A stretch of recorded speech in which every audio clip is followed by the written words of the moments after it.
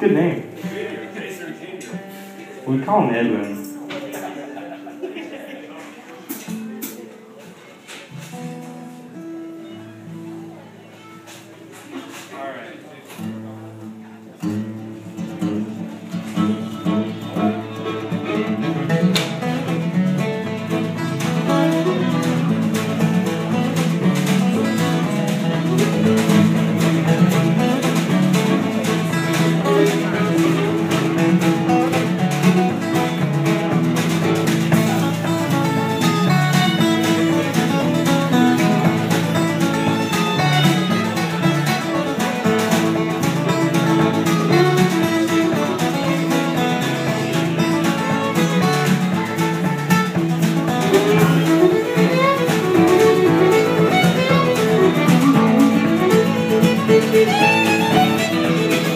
Thank you.